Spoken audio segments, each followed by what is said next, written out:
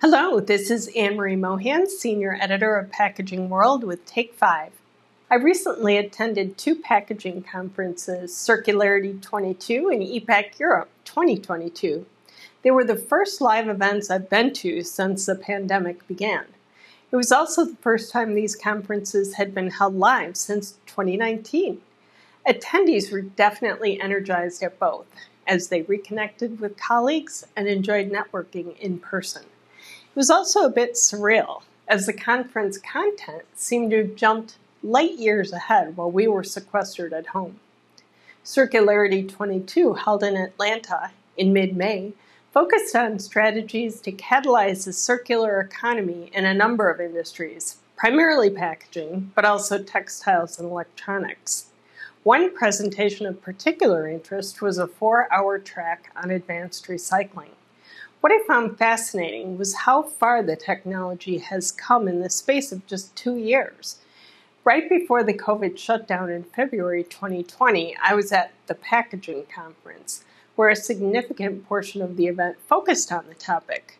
But at that time, a lot of it was theoretical, and there weren't really many commercial examples to point to. That's all changed now. While many of the technologies are not yet scaled up, they've been proven, and technology providers are investing in massive production level facilities New commercial applications are being reported on every day using materials that are the result of advanced recycling.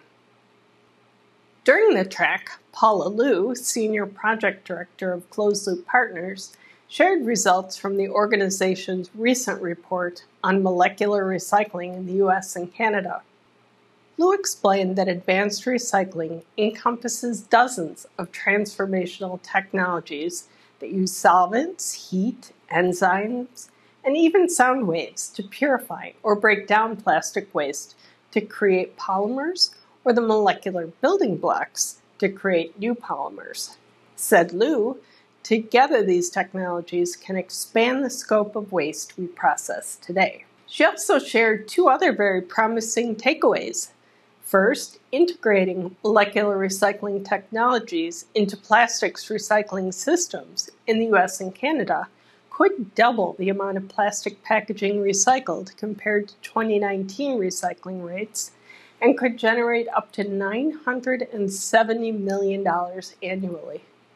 Second, the average carbon emissions from producing plastic through all three categories showed an improvement compared to corresponding virgin plastic systems, with environmental impacts varying within and across the technology categories.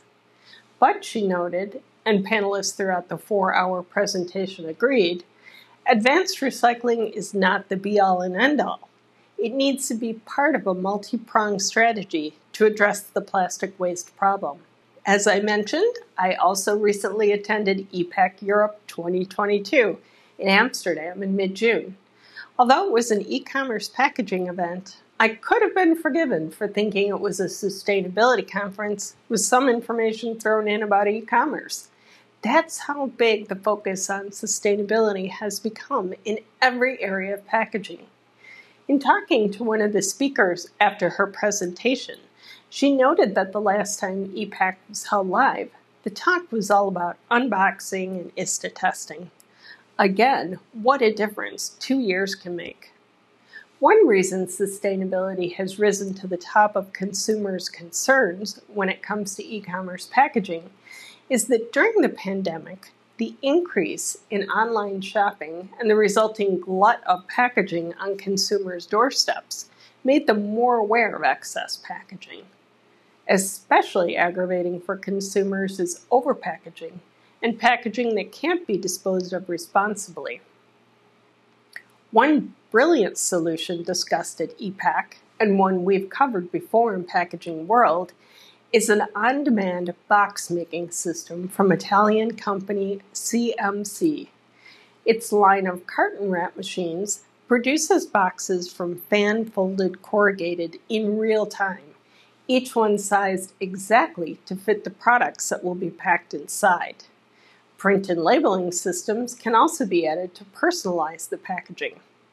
Its next generation machine, the CMC Genesis, can be directly connected to a company's warehouse storage through the CMC patented Veritote system.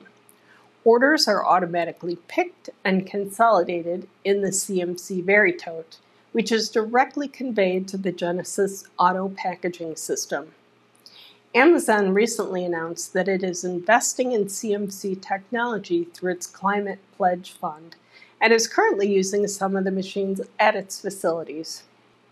Be sure to check out our website and the pages of Packaging World for more coverage of Circularity 22 and E-Pack Europe. That's all for this edition of Take 5. Now stay tuned for a brief message from PMMI.